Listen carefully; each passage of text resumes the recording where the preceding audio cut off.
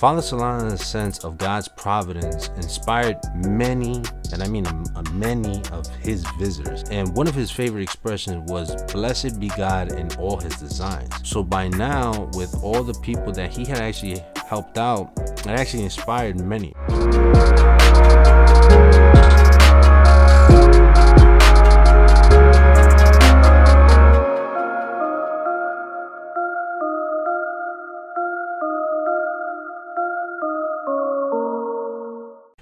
Glory of God is a human being fully alive, and to be alive consists in beholding God. This quote is from Saint Irenaeus of Lyon. What is up familia? If this is your first time on the channel, welcome. I am Edwin and this is Earthly Lynx. We continue to trudge forward with this year, so do not give in. We are past the midpoint of this year. In today's video, we will go back to the Inspire at Me series that I started several months ago and continue the series with the next series of videos. This time speaking about the beatified or blessed. I will link below the videos from this series down below. If you're interested in seeing more videos on faith, vlogs, informative faith videos, and living the faith in the city, consider subscribing down below and hitting the bell icon to be alerted when a new video drops. And also hit that like button to support us here on the channel. Today's gospel inspiration is, you then who teach others, do you not teach yourself?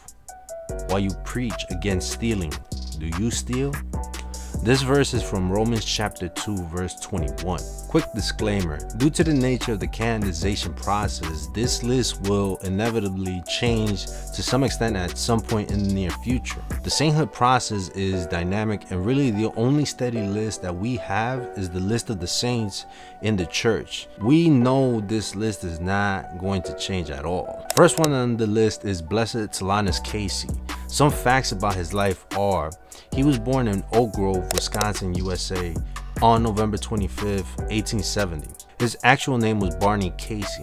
He was a professed member of the Order of Friars Minor Capuchin, and regarding the path of sainthood, he was given the title of Venerable in, in mid-1995. A miraculous healing attributed to him was approved by Pope Francis a couple of years ago in 2017, and this led to his beatification in Detroit at Ford Field on November 18, 2017. His upbringing shaped his life later on, which is the case with many people. He came from a large family, and at the age of 21, after he had worked as a logger, a hospital orderly, a streetcar operator, and, get this, even a prison guard, he entered St. Francis Seminary in Milwaukee and in here was where he found issues with the studies. He actually left there and later in 1896 he joined the Capuchins in Detroit, taking the name Solanus.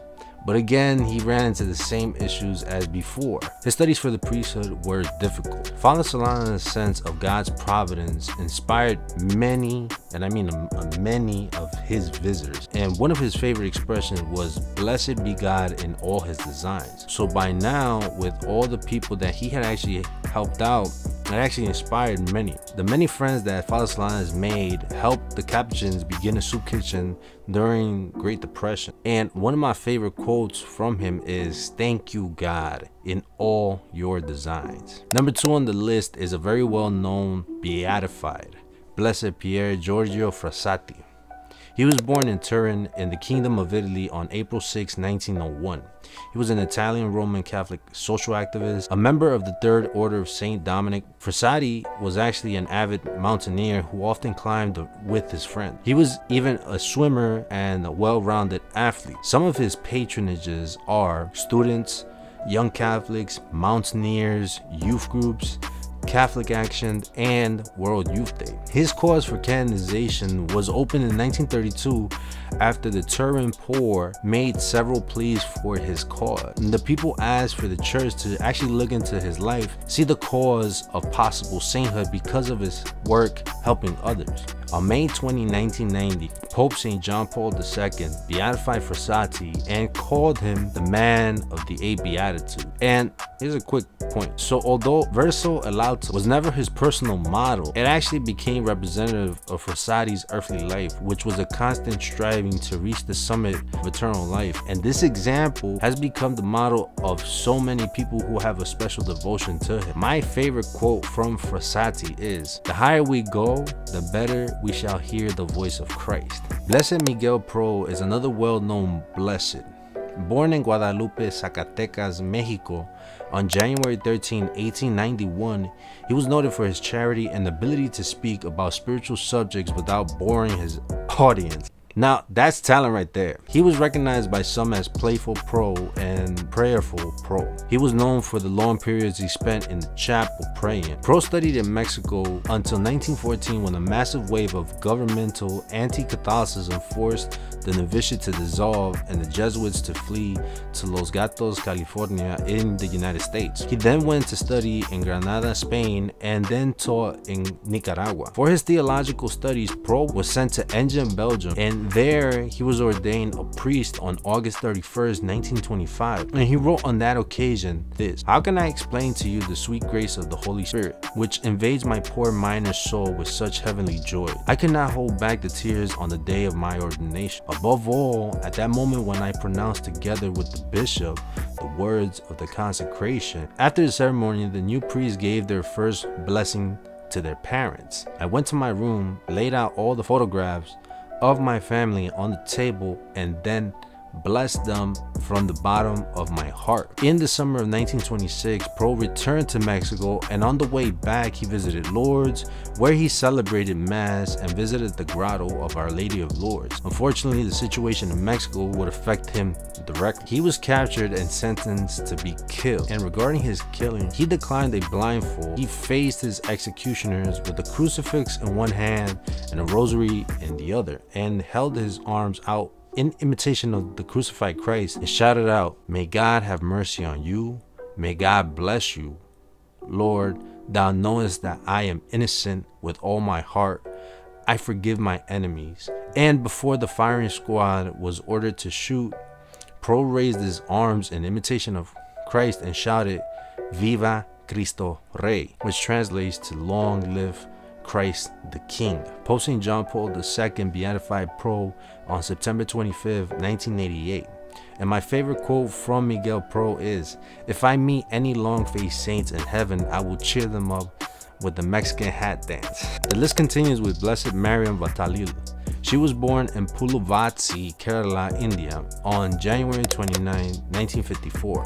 She was an Indian Syro-Malabar professed religious and a social worker in the Franciscan Clarist congregation who worked amongst the poor within the Diocese of Indore. She is the patron of aid, workers, and missionaries. Matalub made both her first communion and confirmation on April 30th, 1966, and she attended the catechism lessons very often. She joined the Franciscan Clarist congregation at Kidangoor following the completion of her secondary schooling and took the religious name of Rani Maria upon joining and entering their novitiate. She was beatified on November 4, 2017 by Pope Francis. I actually came across her life after seeing the documentary entitled The Heart of a Murderer. Now, don't jump to conclusions too quickly. This documentary actually talks about the unfortunate murder of Vattalil and the subsequent repentance of the person who killed her. Now, I do recommend you checking out this documentary because it is a powerful story of both forgiveness and of faith. And don't believe me, it was actually the winner at the World Interfaith Harmony Film Festival of 2013. And last but not least for today's video is Blessed Isidore de Loor. He was born in Vrasene, East Flanders, Belgium on April 18, 1881. In the case of de Loor, holiness doesn't always entail extraordinary visions, miraculous healings, or profound spiritual writing. What sometimes it just means being a good gardener who is obedient to the will of God.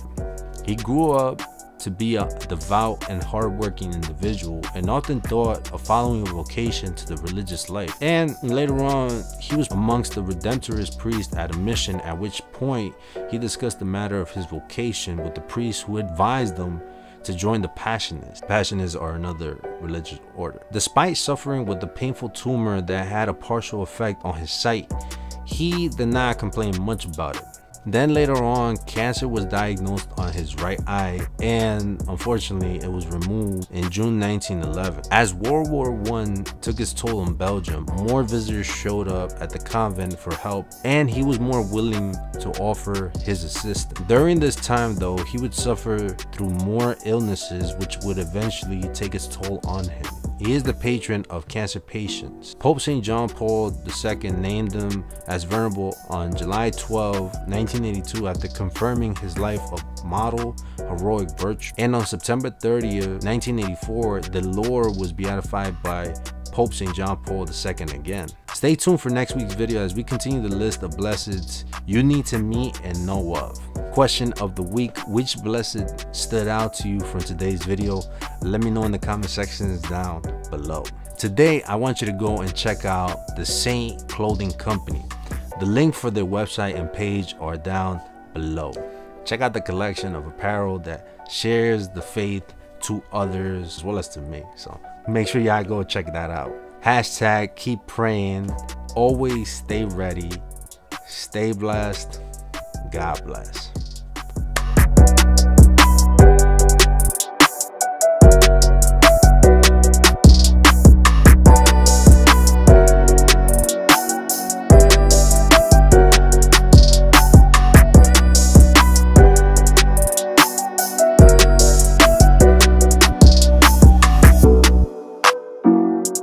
What's up? What's up? What's up? Check out these other videos over there, over here. And the subscribe button is right there. And I'll see you in the next video. You good, you good. Peace.